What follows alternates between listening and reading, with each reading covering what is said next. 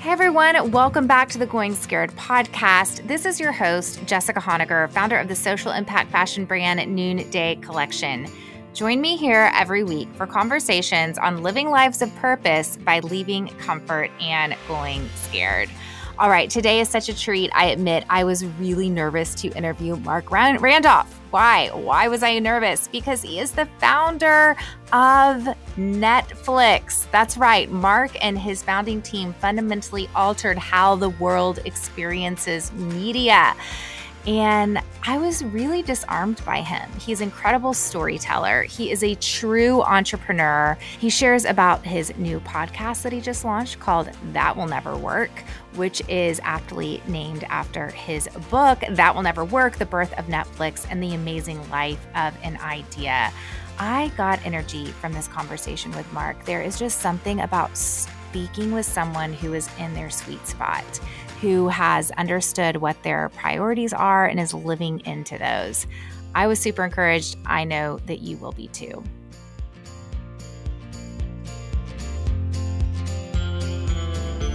Okay, so Marc, you are classified, I classify you as a serial entrepreneur.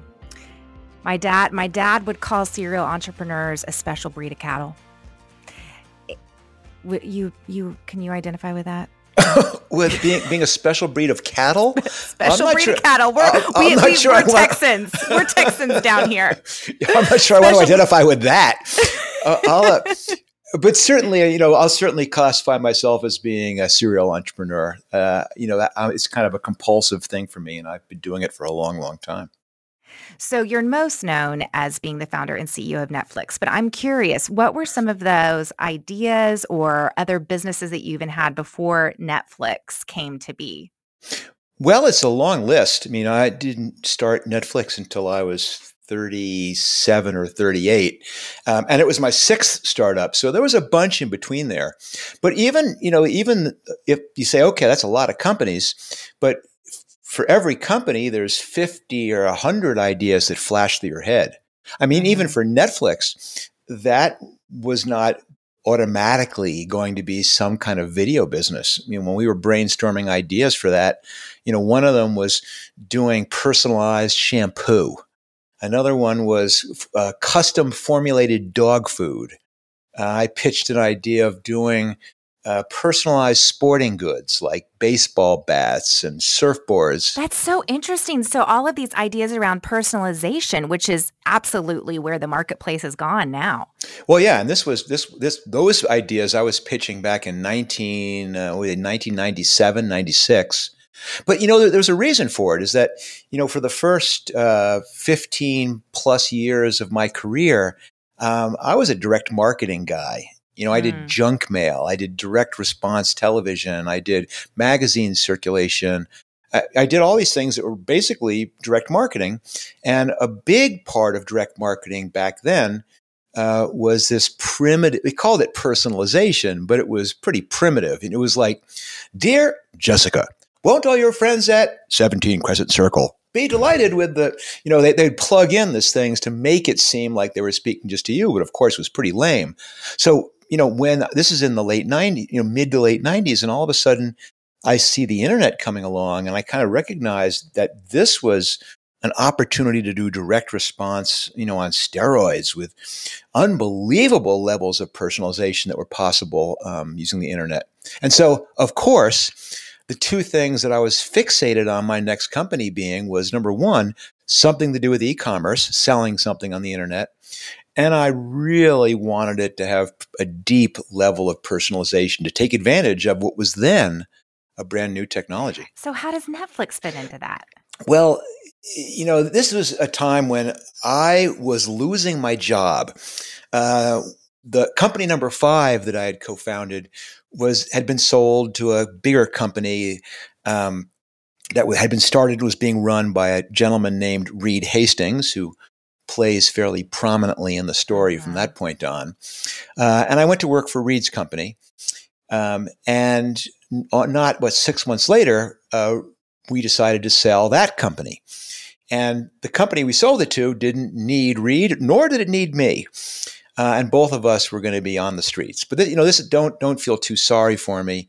this was one of those wonderful Silicon Valley kind of exits uh, where they say, um, we're going to buy the company. You're not going to have a job when it finishes closing, but it's going to take six months to finalize this. You're going to have to come to work. In case you have any questions, we'll keep paying you. Your stock keeps vesting. You stay in your office. So crazy. But you have nothing to do. And so for six months, uh, I was going, okay, I'll use this time to figure out company number six. Um, and we had Reed and I. Reed had, had, said he didn't want to start another company. Reed was going to go off and become an educational philanthropist. He was going to change the world, which he has in a lot of ways, besides his work with Netflix. Um, but he wanted to keep a hand in, so he kind of agreed to be my angel investor. Uh, and we come up with an idea together, and then I would, would start run the company. that down just for our listeners that are not entrepreneurs. I'm angel sorry. investor. I, am an entrepreneur myself. I own an opera. I've run a company for 10 years now. And um, previous to me starting the company, or as I was starting the company, I thought an angel investor was someone that was going to write me a check just because they believed in my idea, no strings attached. So that, that's why I'm asking you to clarify for those well, that aren't in the VC world. It's not a bad a bad definition. I mean, now they call it. I guess they, you don't really call it angel investing anymore. Now, I guess you do. Sure, you do. Um, they also call it friends and family. They yeah. also call it sometimes seed round. But it's basically the money that gets invested before you've really proven that the idea works. Um, and so, to some degree, yes, it is people who are investing because they believe in you, rather than what happens later, where it's so much driven by the numbers and the metrics and how well it's done so far and what it's promising to do. And so, for example, in our angel round for Netflix, uh, it was Reed who wrote a check for $1.9 million.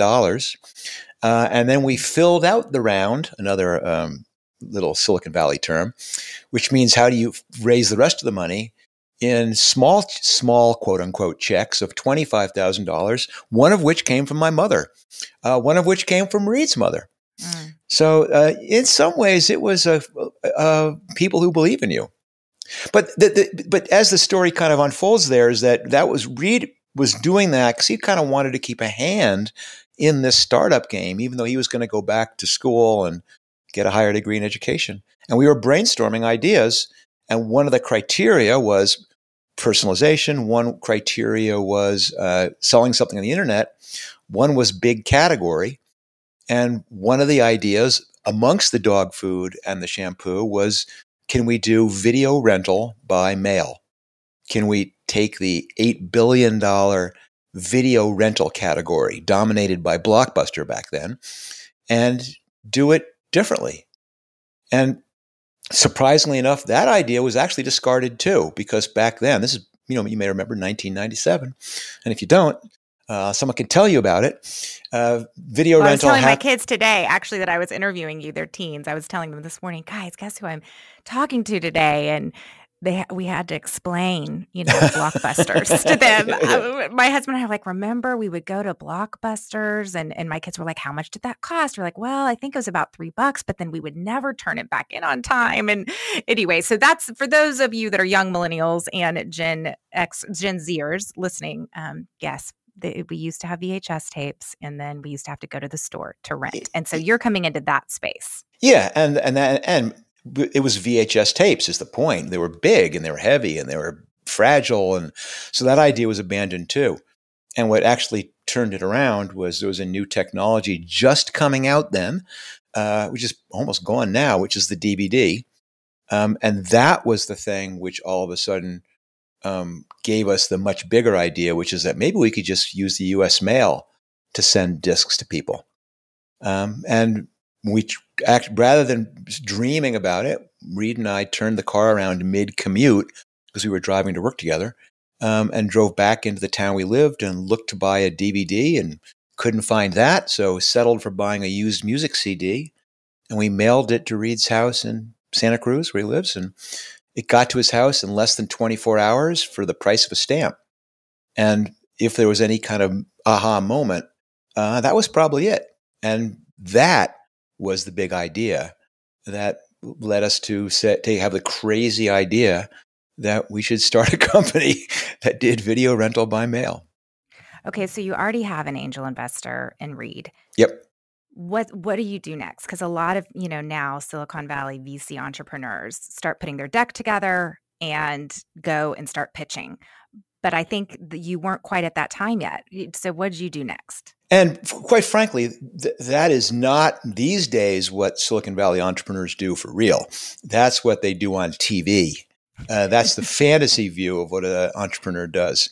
Uh, what a real entrepreneur, like for example, when Reed and I had that idea that DVDs might re-energize this video rental by mail, we didn't run to the office and put together our pitch deck, and nor did we, um, you know, begin uh, working on a business plan. And that was not because Reed was going to write the check.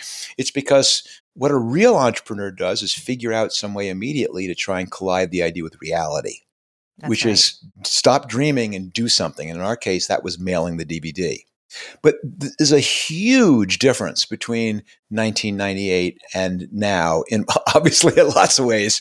But in for an entrepreneur, if you had a, a technical idea, if you had an e-commerce idea, you wanted to do a website that rented movies through the mail, it was really hard.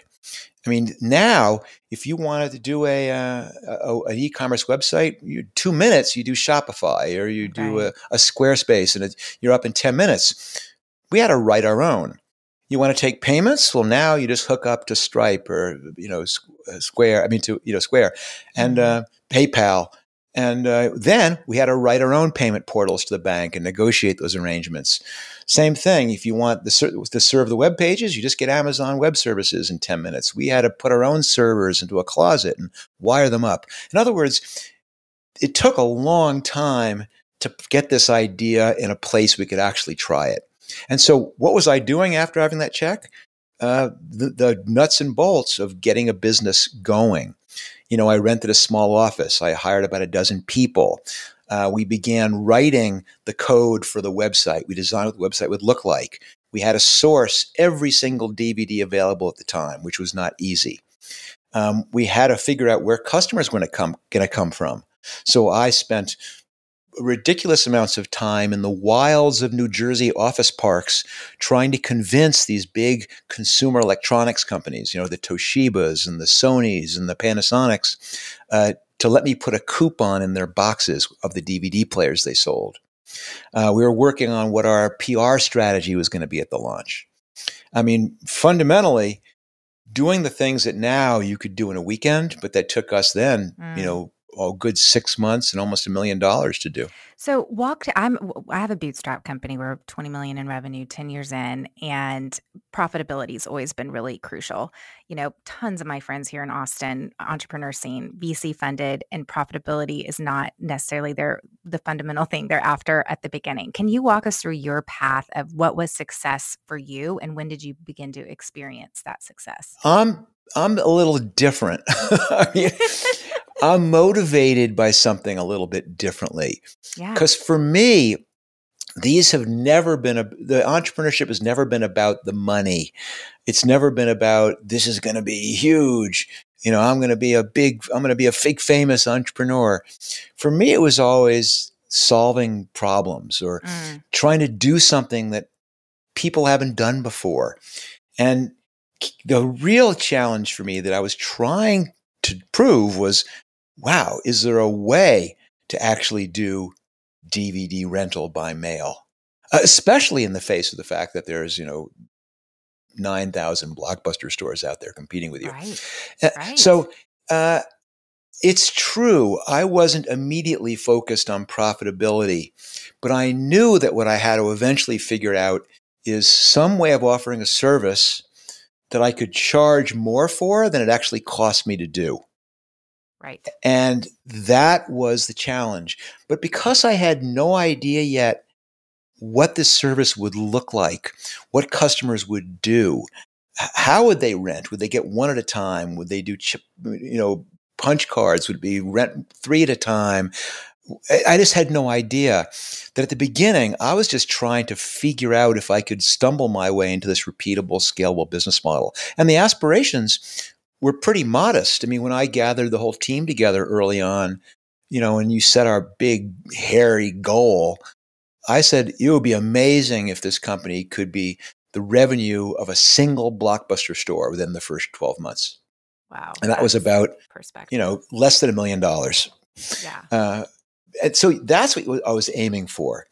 Um, and it turns out, in fact, that profitability was a long way away. Mm. Um, and it turns out, fortunately, that that little internet thing that we were just starting to play with, that I had recognized could be so powerful for selling things on the internet. Um, well, not long after we got into business, a lot of people got excited about that, and it set off the gold rush, uh, Mm. the era of irrational exuberance.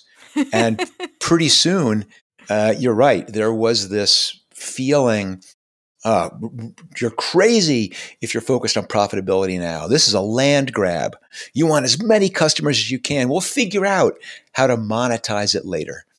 Uh, it was a very unhealthy, uh, unhealthy thing. And uh, you, your listeners can jump around in time without getting too confused. But um, luckily for us, you know, we we got caught up in that too. And for a while, we were going down this very dangerous path of trying to become the, the word was a portal, which was the place on the internet that everyone comes to for a certain thing. We were going to be the movie portal Mm. because that was the buzzword back then. And we even were registered to go public as a movie portal. And then, thank goodness, uh, the crash happened. Uh, and we all of a sudden had to get back to the realization. It's almost like someone throws a bucket of cold water on you and goes, Wake Mhm. up. You have got to do something which actually has some visible means of economic support here. Uh, I mean, if that hadn't happened, if we hadn't been forced to figure out a business model that actually made money, um, we would have gotten trounced after we had gone public.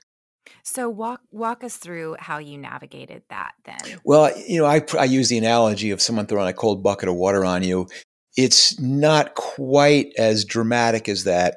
It's more like the real realistic analogy is someone takes a puts their fingers in and sprays some sp- on your face. You go, what? What are you doing?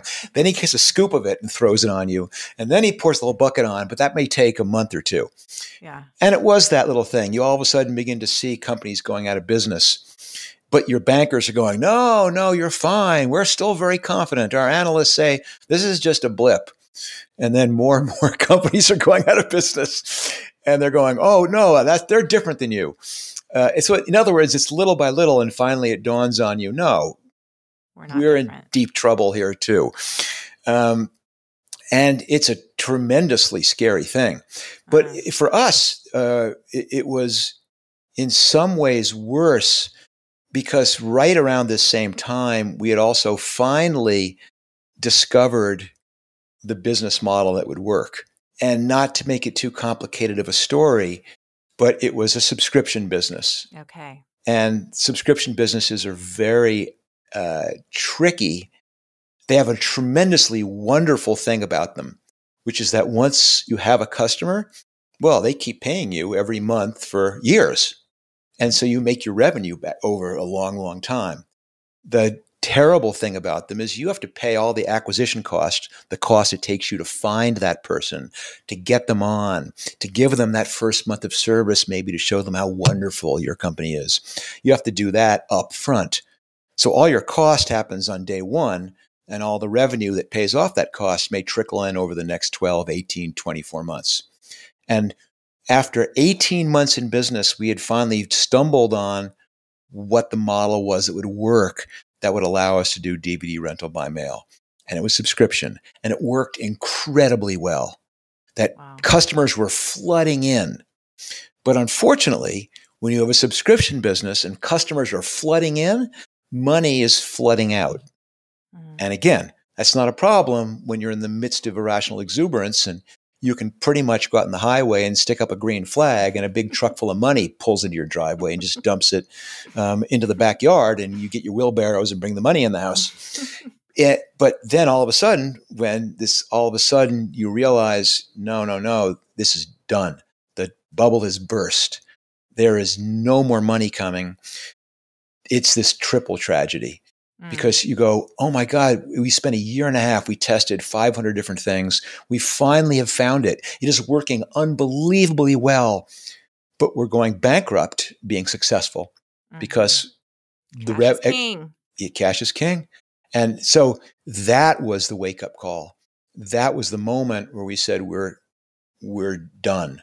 And in this case, we made the very very difficult entrepreneurial call uh, that it was perhaps time, and this, you're an entrepreneur, you've heard this before, it was time to pursue strategic alternatives, which is code for we got to sell this thing and mm-hmm. fast.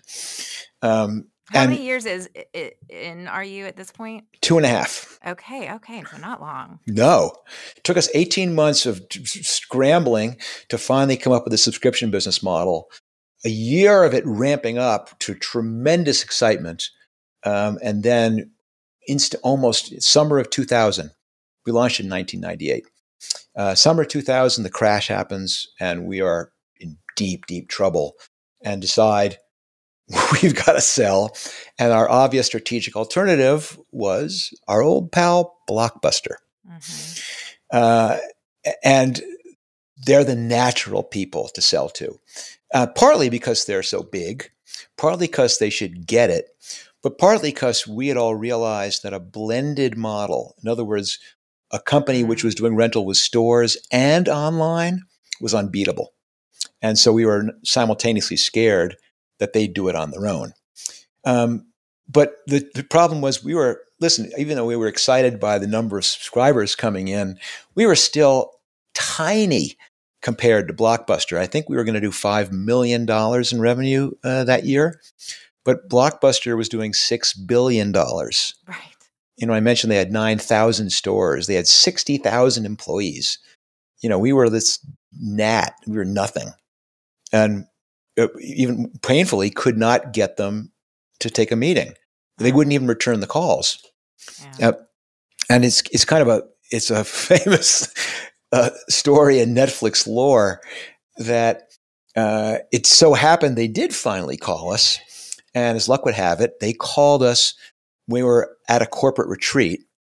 We were um, at a ranch in the foothills uh, outside of Santa Barbara, California, a, a dude ranch called the Alisal Ranch. Uh, and it's pretty rustic. Uh, you know, and you, you kind of can imagine, you, you know, Silicon Valley is pretty casual to begin with. So, of course, on the retreat, you know, you, we're working at it. And I, all I had with me uh, was like flip flops and shorts and t-shirts. That, that was my wardrobe. Yeah. And that, of course, is when Blockbuster calls us and says, we, "We'll see you," uh, yeah. but t- today, I mean oh tomorrow, gosh. tomorrow yeah. in you know t- in Dallas, and we look at the flight schedules, and there's no possible way we can get from this little ranch out to uh, Dallas in time for the meeting.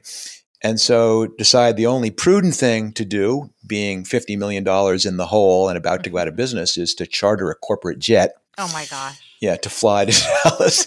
oh, and this, oh, Jessica, I'll share with you the little Netflix trivia, little known Netflix trivia here. That private jet that we chartered was owned by Vanna White, oh, which gosh. you'll have you'll have to explain to your children who Vanna White was, uh, yes, along with the video discussion.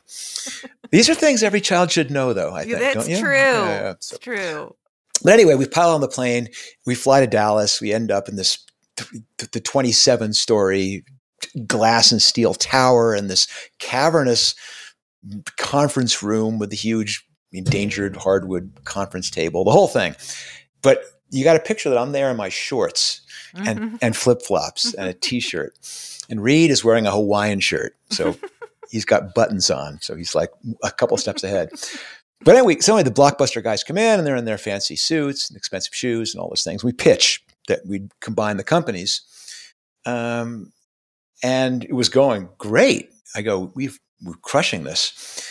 And then they ask, of course, the question we'd anticipated, which was how much. And as I alluded to a moment ago, we were about $50 million um, in money raised at that point okay. uh, and spent, of course. Um, and so we said it would be a really nice, elegant, neat way to wrap this up if we could sell the company and return all our money to our uh, investors um, and be out. Um, so Reed leaned in, said, you know, fifty million dollars, and uh, they basically laughed at us mm. at the the hubris that we would think in the midst of the dot com uh, bubble bursting, yes. months away from being out of business, that we could ask for that much money, and it, it was that was not that was not even the sh- cold water thrown on you. That was something different. That was horrendously um, disorienting and disrupting and depressing. Mm. because you know I, on the flight over i was excited. Yeah. i went this is incredible. This is so self-evidently right. And we've solved our problems or at least i've taken our problems and put them onto somebody else. So and now on the flight back i'm just sitting there quietly going not only are they not going to save us they're going to compete with us Mm, uh, we've shown them our cards, and yeah, and we're going down. We're we're, we're this we're, we're in deep trouble, and, and and we had spent enough time trying to figure out how to get out of this hole that we knew there was no easy way. Um, there was no secrets. There was no uh, thing we'd overlooked. Uh, you know, and my the advice my dad used to always give me sometimes when I would come to him with my insurmountable problems as a kid. And he'd go, you know, listen, Marc, sometimes the only way out is through. Uh-huh you got to turn and face these things. And um, it was a very, very focusing, very yeah. sobering uh, moment for all of us uh, that we would have to get out of this um, uh, on our own, uh, our own steam. So what did you do? you just. Uh, we went to Disneyland. No, we, we, uh, it's like that's how all those stories are supposed to end. No, it, it, it, we basically said we have, we have a little bit of money left. We're not going to be able to raise anymore. Um, we have to transform the company. We have to get. We're going to have to get to profitability under our own steam. Okay. Uh, which meant all those ideas about being a portal. Nope. Uh, all the people we'd hired to sell advertising gone. Gone. Um, forty percent of the company gone uh, really buckling down, focused, disciplined. Uh, and it was, I, I, imagine, I'm sure you, Jessica, at some point in your business career, you've had to fire people. And mm. in this case, you're bringing people in to let go that were there from day one, mm-hmm. that left their other great jobs and mm-hmm. with more benefits and higher salaries to come and help you make this dream come true and worked tirelessly to do it. And now you have to sit them down and say, you're not the right person to bring us on this next, uh, next part of our journey. And it's the most emotionally wrenching thing you can do as an entrepreneur. Mm-hmm. And it, at the same time, there were some really positive things that came out of it. We had this very, very special culture in those first year or two that most startups share. And it had begun to slip away as we got bigger and got less focused. And there was this interesting revelation when all of a sudden we all began coming to work again with 40% fewer people, but no less really amount of work to do, which is it forced us back into that mode mm-hmm. of there's no time for all these command and control things. There's no time for the BS. There's no time for expense reports and approvals. We just got to go back to acting like a startup again. And more importantly, we realized how fun that was. Mm-hmm. And there was this vow we're never going to let ourselves become complacent that way again. You are such a good storyteller. I wasn't planning on talking about Netflix for for this long, but this is just I mean, I mean, I could, we could go, we could go on and on. And you stayed. It's almost with- as if you could write a book about it or something, it's true, Jessica. uh, somebody should really write about those early years of Netflix and tell these stories. That's right. That's right. Which you guys do need to go check out Marc's book. That will never work. The birth of Netflix and the amazing life of an idea. Um, I'm hooked. I'm hooked. But you stayed on as the Netflix board of directors until retiring from the company in 2003 I guess I'm curious. Well, I could just ask so many questions. Like I'm curious what what are the next key inflection points because I mean this is just such a rapidly changing industry. But I'm I'm curious what led you to that uh, finally retiring in 2003 because I'm I'm surprised you stuck with it for this long for that long. So first of all, I've got to tell you, I'm the luckiest guy in the world. I mean, mm. for so many reasons. But one thing that I'm so lucky and so happy about is that really pretty early in my life, I figured out what I think are two of the most important things a person can figure out about themselves. And I figured out one, what I'm good at. And I figured out number two, what I like doing. And the even luckier part is both of those turned out to be the same thing, which is startups, which mm. is early stage companies. I love that problem solving. I love the challenge of doing something that hasn't been done before. I love coming in to work and getting to sit around the table with really smart people solving these really interesting puzzles.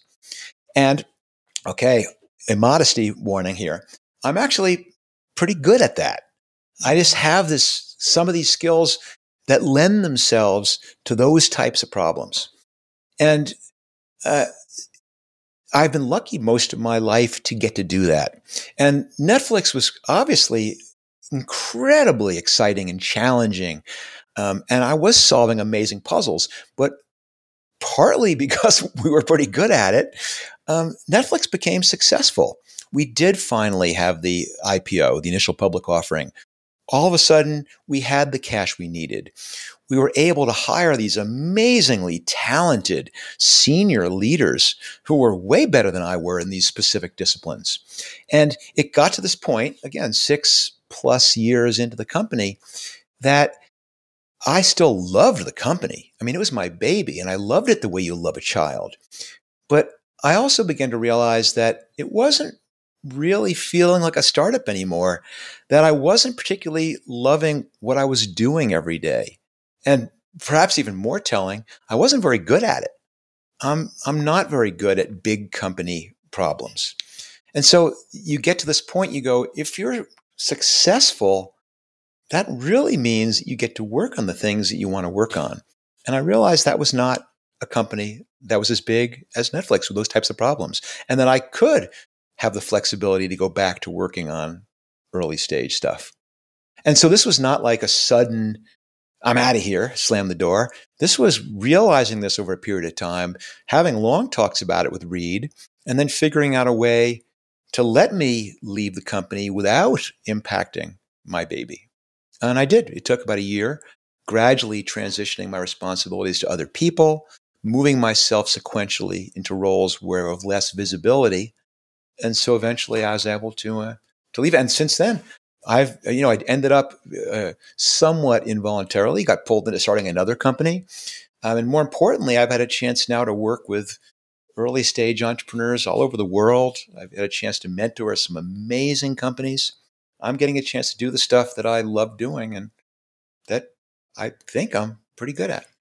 I love this. I love this so much. And you have a love for the outdoors. Oh, yeah. There's a, my life is a three legged stool, Jessica, if I could uh, phrase it that way. It, it, again, that's one of the other things. I, I'll say this that the entrepreneurial stuff for the most part, came is come. Uh, I don't, don't. I'm not bragging about this. It's not. It, it, comes naturally to me. It means these are not things that I necessarily went. Oh, I am not like that. I'm going to teach myself to be like that. Um, I, just the way I think happens to work for solving business problems. The thing I have to think about and work about and challenge myself on is balance. Um, and that's also something that I learned when I was in my uh, late 20s or so, which was that I did, couldn't work all the time, even though I loved it and it was compelling, um, because then I wasn't a full person. And that there was other parts of my life that were important. And one, of course, is my wife and my then fa- my family, which came slightly thereafter. Um, but I realized that's not something that can I can do after work is over, I can come home from work at 10 o'clock at night and expect to have a relationship with my wife. I had to make that as important as the work. But there was this third realization, which is what you just brought up, which is that what really makes me whole is uh, the outdoors. Now, I'm really into, I'm not even sure what the category is, but you know, things like mountain biking or backcountry skiing or surfing or uh, kayaking. I mean, basically, if it takes place outdoors and could result in a trip to the hospital, I'm in. that's those. That's what I enjoy, and in some ways, it's wonderful to have a passion like that that I know just fulfills me so much. But the downside is that when you when your passion is doing those sort of things, which sometimes require three bush plane flights in a row out to some place up in the northern uh, Alaska, and then you're going to spend two weeks uh, canoeing some river in the Arctic National Wildlife Refuge. That's not something you squeeze in between your 10 o'clock phone call and your one o'clock meeting. Um, you've got to plan for that. and you've got to work it in around those other two pillars in your life, in, around the uh, the family and around your other family, which is your startup. But yes, that, that's a long way of saying uh, outdoors is a big part of what makes me tick and what fulfills me and what grounds me and what allows me to stop thinking about what's going to come and what just happened, but live in the moment and appreciate things. It's a it's yes. a wonderful, wonderful, wonderful thing. Okay, have you seen The Social Dilemma that was produced by Netflix? Yes, I absolutely have. Boy, that was a that was a wake up call, huh? Okay, so this is what I'm curious about because, you know, they interview all these ex Silicon Valley tech guys, and then there's this underlying tone of regret in some of these interviews with these former founders and creators. And they feel regretful almost at what they created and what that has become. So I'm curious because you are such an outdoor enthusiast and yet now Netflix can be one of these avenues that, you know, we just get I mean, we've all done the Netflix binge. Um, so I'm just curious if you have you like what do you experience now that you have you could never could have predicted streaming and just even where um, all of these services have gone. Is there something you would have done differently, or how do you kind of hold that tension? Of I think at the end of the day, you tell someone to go outdoors, other than like you know binge on their six Netflix series. So how do you hold that tension? There, there certainly is this tremendous irony that you're right for someone who is as focused on the outdoors as I am, you know, that d- dedicates almost all of their philanthropic effort uh, to outdoors um, preservation, uh, is proud, best known for inventing a way for people to spend more time in front of a screen. It is ironic. Uh, and uh, it, uh, it's funny, actually, just in, in about an hour and a half, I'm going to be doing some helping a friend of mine whose path he spent most of his post tech career cha- saving lives. You know, he's mm. doing medical work. It's unbelievable. And I always, I feel it's so funny sometimes. But listen, you know, you can't all, we can't all be Jonas Salk we all have to do the best work we can. Mm-hmm. And in some ways, this last 15 months has been tremendously gratifying, I guess, to see how Netflix has been embraced mm. and how many people, I mean, countless people who have told me that Netflix helped get them through. Yeah. Uh, being locked in their house, you know, yeah. confined to their apartment and that if it was not for having something that was able to take them away, to take them to different places, to take them to experience different people and different cultures, um, it would have been they would have lost their mind. Mm. Uh, and so, uh, yes, I do. I feel a bit better um, about that. I'm certainly proud of what Netflix has accomplished. Storytelling is hardwired into us. Yeah. Uh, that's how we have communicated with each other since we all sat around the fires, uh, you know, as Neanderthals. Um, and so to say that you've created a different and better way to share stories with people, mm-hmm. I don't mm-hmm. feel uh, any shame in that. Um, and I love how you can be both. You know, we talk a lot on this podcast about paradox and about, you know, you can be an outdoor enthusiast and you can be an incredible storyteller via, you know, creating one of the most watched media platforms today. I also wanted to ask you about um, just this pandemic, this series that we're in right now. It's we're calling it "Decide, Don't Slide." And you have lived such an intentional life. I mean, it is rare to meet someone as successful as you that incredible father, husband, outdoor enthusiast.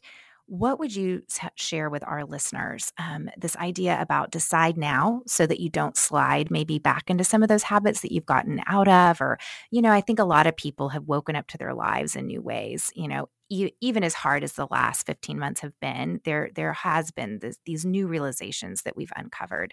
So just how have you been able to you pri- it seems like you prioritize the right things in life and you know you have you live a very values oriented life. So what can you share with our listeners about how they can do that? Well first of all i love decide uh, decide not slide. I think that's awesome. But uh, you know I, I, mentioned earlier to the fact that i had to work on balance uh. I, I continually have to work on balance. I, listen, I'm like anybody else. I get caught up in things you know, I'll open up TikTok and like then an hour and a half later I go, what what the hell just happened? um, so it's it's not like I have some superpowers. I've just decided that balance is going to be the main objective of my life here is and, mm-hmm. and I have to work at it. Mm-hmm. And uh, I do it in small ways. You know, I at the end of every week, I look back at how I spent my week, and I look at my I look forward at my week, and I consciously ask myself, myself, what is the ratio between want to do and need to do? Mm. And uh, if I start seeing that it's sliding too much into the need to do, I go, I need to make an adjustment here. I look at it every month, I look at it every quarter, and I take a big look at it every year. But there are points in life where you get a chance to do major resets. And I've learned to recognize those and take advantage of them. And one of them certainly has been COVID. Another one happened to me, uh, interestingly enough, um, not long after I left Netflix. And uh, as happens quite naturally, all kinds of wonderful opportunities come along. People are saying, Would you be an advisor? Would you join this board? Would you do some of this nonprofit work? And at first, your filter is is this a good thing? And if it is, you say yes to it. Right. And pretty soon you go, oh my gosh, my day is packed with things, and three quarters of them I don't really care about. Um, and then I had a lucky break in that my family and I decided that we would take a very extended sabbatical. Uh, we would move to Europe. Uh, we'd take the kids out of school here in the United States and we'd put them into school. And I, there were three kids who were, you know, I guess they had early teens and younger. Wow, that's um, a big time in their lives to decide yeah. to do something like that. And we moved to Rome, to Italy, oh, wow. um, and lived there as a family. And besides, I mean, this is if you're in a situation you can possibly ever do that, I highly encourage it. It was fantastic on every level. But the level that we're talking about now is it gave me this graceful way to detach myself from every single thing I'd committed to.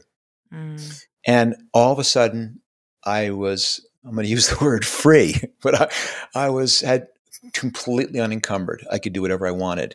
And I thought to myself, when I go back to the United States, I don't want to let happen what happened before. Mm. I want to be thoughtful about what do I really want?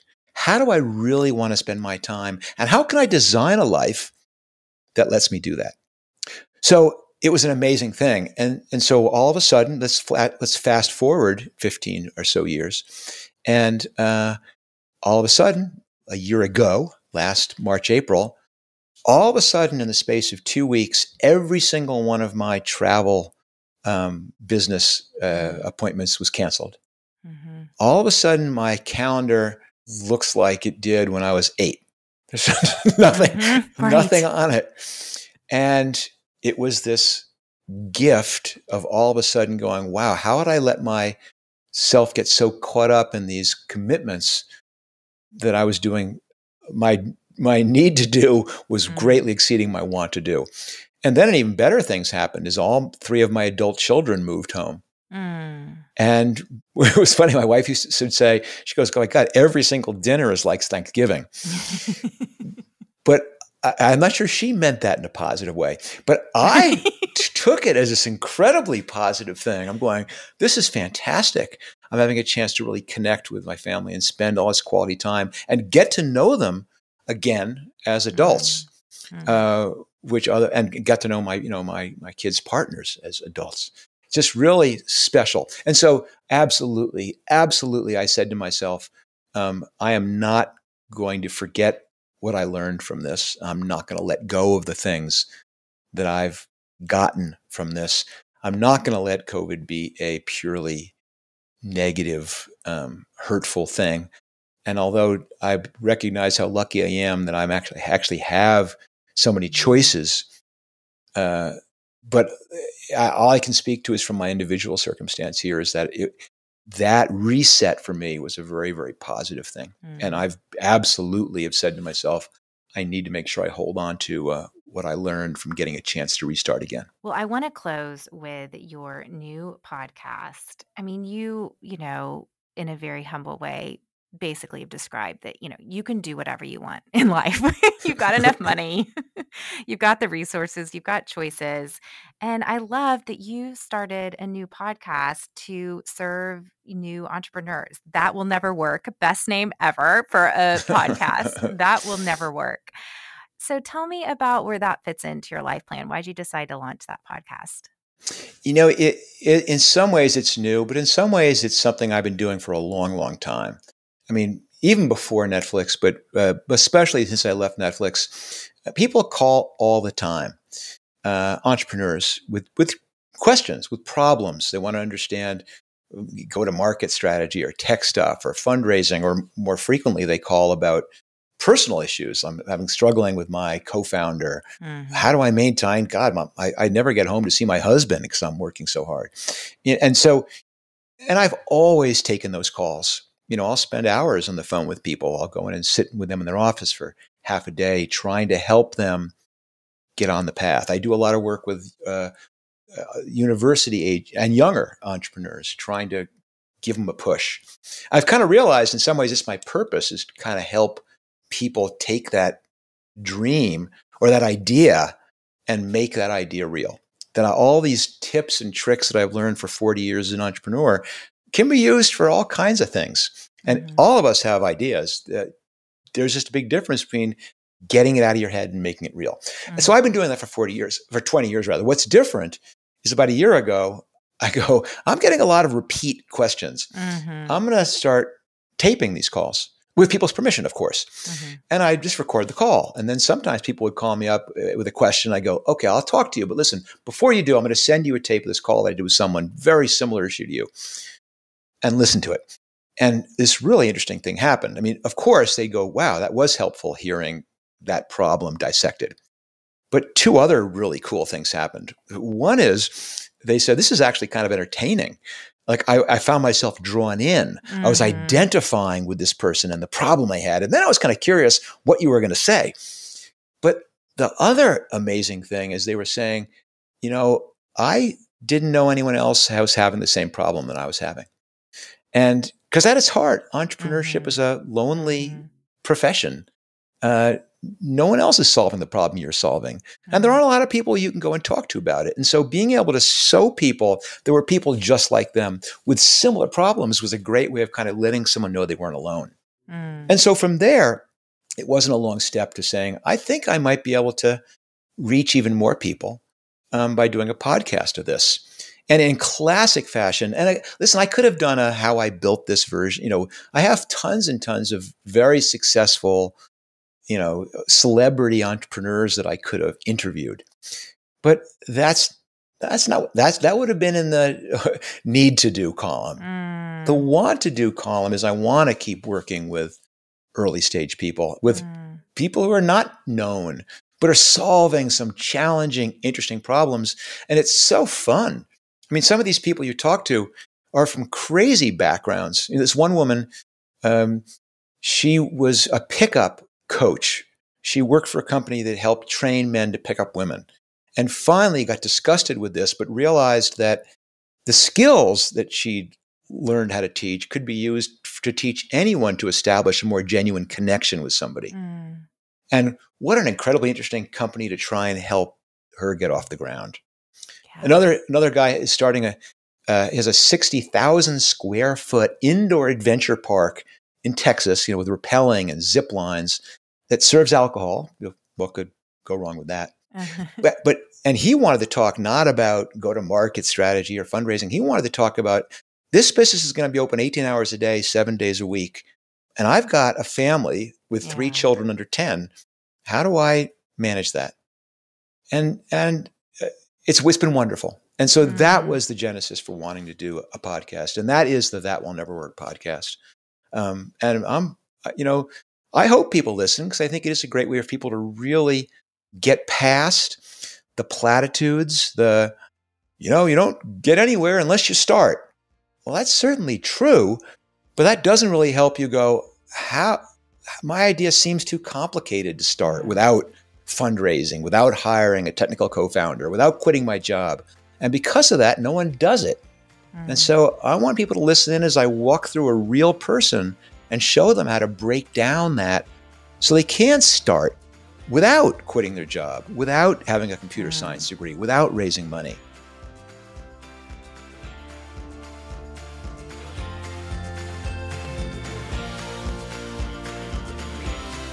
I think this conversation with Marc showed that paradox of and that we talk a lot about around here on the Going Scared podcast. He holds that tension of being a lover of spending his free time outdoors while being responsible for revolutionizing how people spend their own free time. And oh my goodness, I think we spent a lot of our time last year on Netflix, and it really is amazing how just this one problem that he wanted it to solve eventually has led to a media company that has changed the world.